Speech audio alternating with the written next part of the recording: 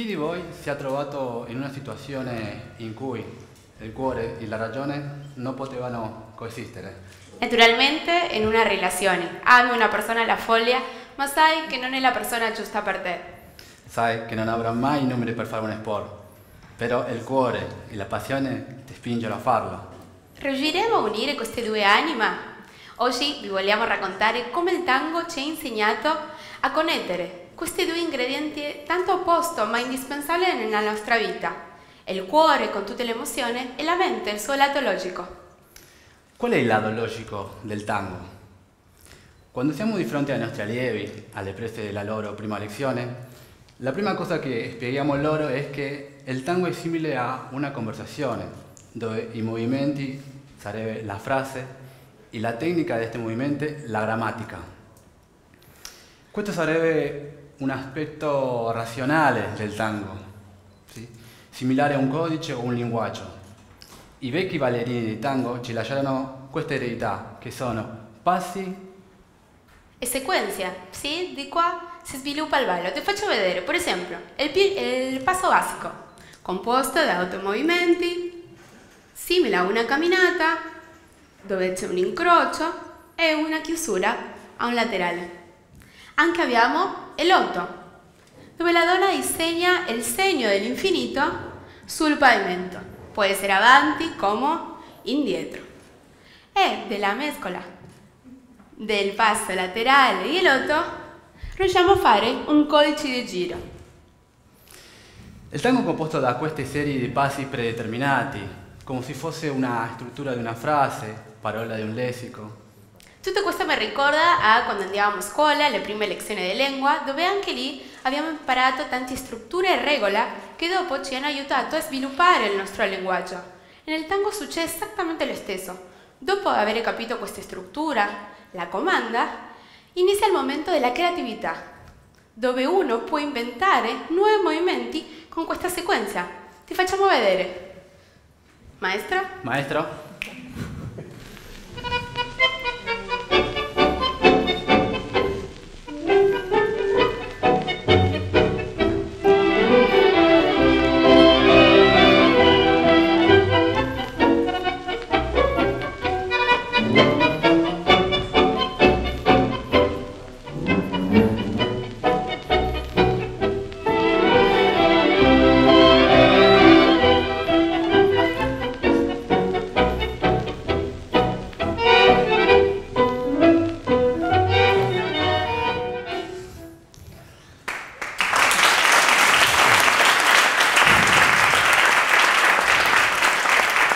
Ma in tutto questo, la mozione nel tango, dove, dove interviene? Il tango, oltre al codice e alla struttura, è una mozione che si balla. Per bailare il bailo, per bailare il tango, assaporando l'essenza, prima di tutto dobbiamo lasciarci trasportare per la musica. Ci lasciamo avvolgere dall'abbraccio del nostro compagno per connettarsi e condividere una stessa emozione. Le regole, le emozioni si mischiano prima, prima di incominciare a ballare. Esiste per esempio una regola, ¿sí? un codice nel tango che si chiama mirada e cabeceo. Te lo faccio vedere. Immaginate, pista, pista di ballo, tavolini, sedia. Nel tango l'uomo comanda, quindi è lui che invita la donna, capito?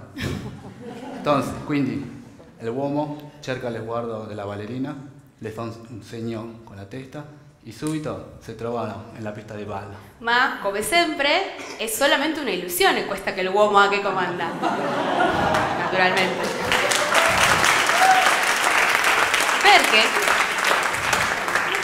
Se la donna non è interessata in bailare in questo cavaliere, quando vedi il sguardo, gira la testa per l'altro fianco e lui capisce che non è interessata in bailare con lui. Ma nel caso in cui sei la fortunato, rimango lo sguardo e subito dopo i ballerini si trovano nella pista di ballo e arriva il momento più magico della serata. L'abbraccio. È il più importante contatto che deve rimanere per tutta la durata di un tango. Entrambi sentiamo il corpo dell'altro, la mano, il torso, il battito del cuore. Creiamo senza dire, dire una sola parola. ¿sí? Y esto, ¿sí? Es una... Me son emocionato, scusa. Conexiones.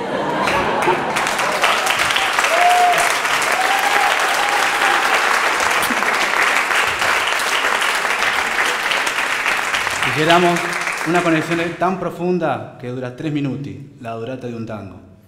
Maestro.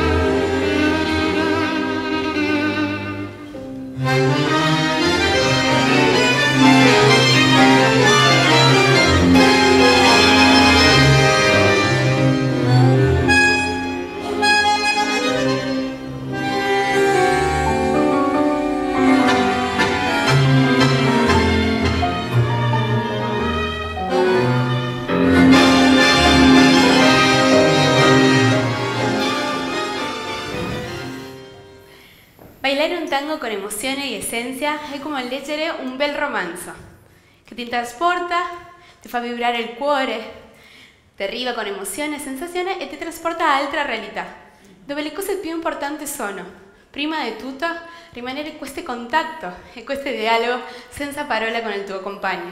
Lasciarsi trasportare dalla musica, concentrarsi nel ora e nell'adesso. Per questo possiamo dire che in tango anche ti permette fare un tipo speciale di meditazione, dove la mente si rilassa, uno si concentra in questo momento e tutte le emozioni vi, eh, si rilassano e si lasciano andare. Questo è il tango argentino, è un'emozione che tutti dobbiamo provare. Ma perché tutti dobbiamo imparare il tango argentino? Perché è un peccato continuare a scrivere lettere e parole pensando solamente con la testa, quando possiamo connettere il cuore e la testa e fare una bella poesia insieme. Anche per interiorizzare tutti questi passi, codici e per creare i propri. Per lasciarsi invadere dell'emozione, lasciarsi invadere del momento. Per questo tutti dobbiamo bailare. Grazie.